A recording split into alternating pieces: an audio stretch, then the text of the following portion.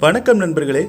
இன்றைய மாடித்தோட்டம் பதிவில் நம்ம மாடித்தோட்டங்களில் இருக்கக்கூடிய பூச்செடிகள் காய்கறி செடிகள் பல செடிகளுக்கான ஒரு சூப்பரான உரம் பார்த்துடலாம்.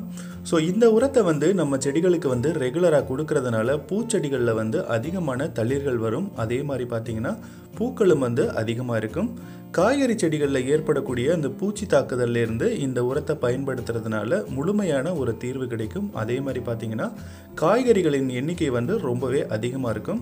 ஸோ இந்த உரங்களை வந்து எப்படி பயன்படுத்தலாம்? என்ன முறையில் வந்து நம்ம செடிகளுக்கு யூஸ் பண்ணோம் அப்படின்னா அதிகமான பூக்கள் காய்கள் கிடைக்கும் அப்படின்றத ரொம்பவே தெளிவாக பார்த்துடலாம் என்னுடைய மாடி தோட்டத்தை வந்து ஓரிவாக நான் லைட்டாக காமிச்சிருக்கேன். ஏன்னா என்னுடைய தோட்டத்தில் வந்து சில செடிகள் மட்டும்தான் இந்த வருஷம் நான் வந்து பயிரிட்டேன். அதாவது அந்த அமாவாசை தினம் சொல்லுவாங்கள்ல ஆடி அமாவாசை அந்த நாட்களில் பயிரிட்ட பயிர்கள் மட்டும்தான் இன்னும் என்னுடைய மாடி தோட்டத்துங்களில் இருக்குது ஸோ அதில் பார்த்தீங்கன்னா குறிப்பாக வந்து மிளகாய் செடிகள் வந்து அதிகமாக நான் பயிரிட்டேன். அதே மாதிரி பார்த்தீங்கன்னா காந்தாரி மிளகாய் குச்சி மிளகாய் இது மாதிரி உள்ளதான் அதிகமாக பயிரிட்டேன். கத்திரி செடிகள் தக்காளி செடிகள் அதுவும் வந்து பயிரிட்டிருக்கேன். எல்லாமே வந்து எனக்கு வந்து நல்ல விளைச்சல் தான் கிடச்சிச்சு அப்படின்னு சொல்லலாம். மிளகாயெல்லாம் பார்த்தீங்கன்னா ஒரே செடியில் வந்து இருநூறு காய்களுக்கு மேலே இருக்கிற அளவுக்கு வந்து காய்கள் வந்து அதிகமாக இருந்தது. ஸோ அதே மாதிரி குடைமிளகாய் வந்து இந்த வருஷம் நான் வச்சு பார்த்தேன். நல்லாவே அதில் வந்து ஈல்டு எனக்கு கிடச்சிது. ஸோ கண்டிப்பாக நீங்களும் மாடித்தோட்டம் வச்சுருந்தீங்க அப்படின்னா வந்து இதே மாதிரி உரங்களை வந்து உங்களுடைய செடிகளுக்கு கொடுத்தீங்க அப்படின்னா வந்து அதிகமான ஈல்டு அதாவது குவாண்டிட்டி வந்து அதிகமாக கிடைக்கும்.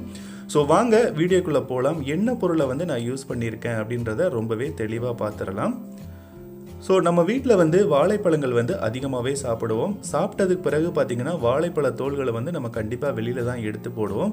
ஸோ இதே மாதிரி வாழைப்பழ தோல்களை கலெக்ட் பண்ணி நல்லாவே காய வச்சுருங்க. ஸோ எவ்வளோ நாள் காய வச்சாலும் பரவாயில்லை. நம்ம வந்து இதை கண்டிப்பாக செடிகளுக்கு வந்து பயன்படுத்தலாம். எப்படி நான் அந்த வாழைப்பழ தோள்களை ரெடி பண்ணியிருக்கேன் அப்படின்னு பார்த்தீங்கன்னா இது கூடவே வந்து கொஞ்சமாக தேங்காய் புண்ணாக்கு ஆட் பண்ணியிருக்கேன்.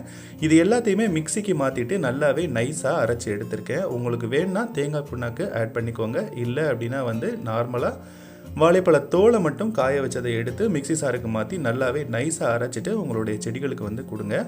ஸோ இதை எப்படி கொடுக்கலாம்? என்ன முறையில் கொடுக்கலாம் பார்த்தீங்கன்னா ஒரு ரெண்டு டேபிள் ஸ்பூன் அளவுக்கு ஒவ்வொரு செடிக்கும் வந்து கொடுங்க. ஸோ லைட்டாக வந்து செடியினுடைய தூர் பகுதி பக்கத்தில் வந்து உங்கள் கைகளால் சின்னதாக ஒரு ஓட்டை போட்டுக்கோங்க. அதில் வந்து நீங்கள் ரெண்டு டேபிள் ஸ்பூன் அந்த உரத்தை வந்து அதில் கொடுத்துருங்க.